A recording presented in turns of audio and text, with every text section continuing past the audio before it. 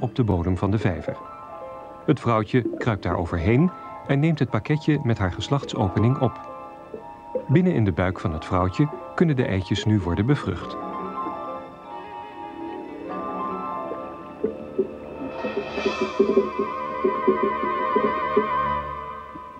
Haar buik zit vol eieren.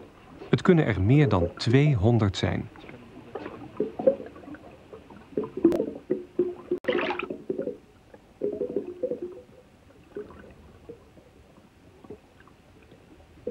Salamanders ademen met longen.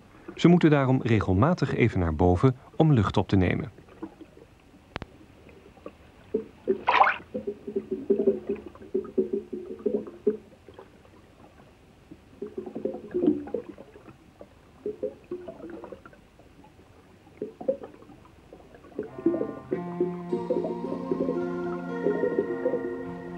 Waterplanten zijn onmisbaar. Kort na de bevruchting zoekt het vrouwtje de waterplanten op. Ze zoekt geschikte planten om eitjes te leggen.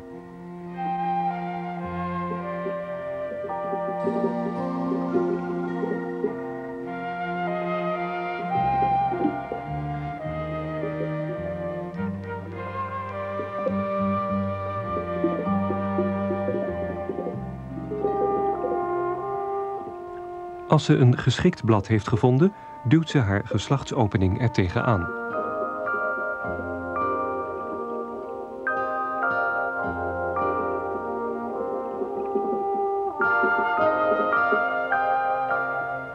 Ze vouwt het blad met haar achterpoten samen en legt een eitje in de vouw.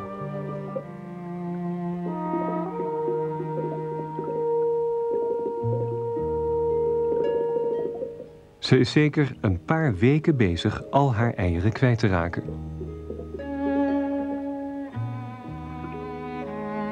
Elk ei wordt apart gelegd en apart in een blad verstopt. Daar blijft het kleverige eitje van maar 3 mm groot zitten, goed verborgen voor rovers.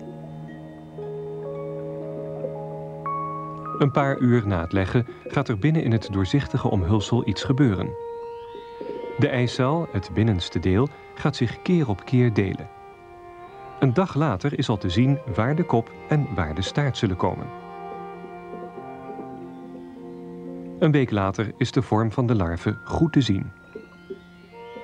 De verdere gang van zaken hangt vooral af van de temperatuur van het water.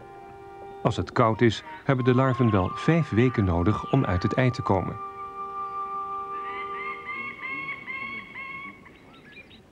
In het voorjaar wemelt het hier van de larven van allerlei soorten amfibieën. De larve van de kleine watersalamander lijkt wel een beetje op de ouders. Kikkerlarven zien er daarentegen heel anders uit dan volwassen dieren.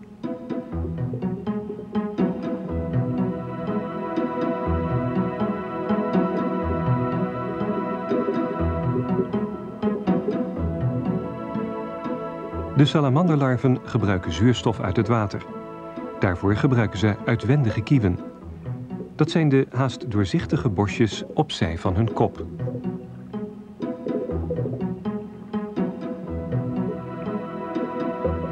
De eerste aanpassingen aan het landleven komen tevoorschijn. De pootjes. Bij salamanders eerst de voorpoten, dan pas de achterpoten. Bij kikkers en padden komen eerst de achterpoten.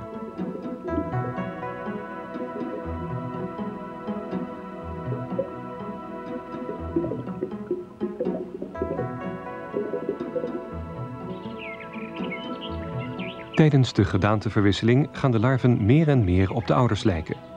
Dat is niet alleen voor de buitenkant het geval, ook binnenin verandert er heel wat. Dat blijkt bijvoorbeeld uit het feit dat de jonge salamander nu lucht gaat ademen. Stap voor stap worden de kieven minder belangrijk.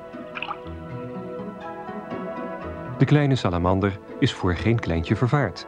Zelfs een voor hem zo enorme regenworm moet naar binnen. Dit vrouwtje probeert hem de buit af te pikken.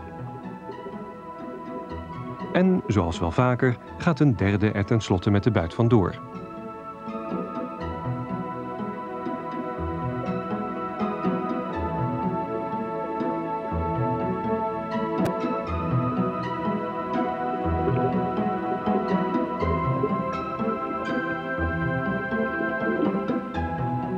Tegen het najaar gaan ze het water uit.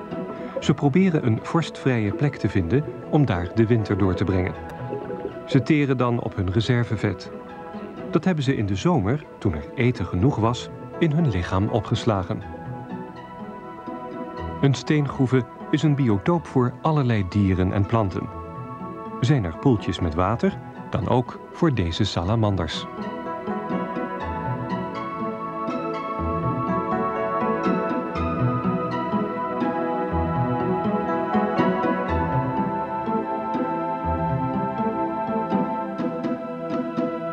NPS, Teliak en RVU heten nu NTR.